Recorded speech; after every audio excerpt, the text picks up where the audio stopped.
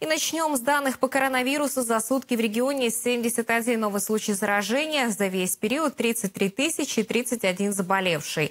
В России за сутки более 9 тысяч положительных тестов выздоровели свыше 7 тысяч человек.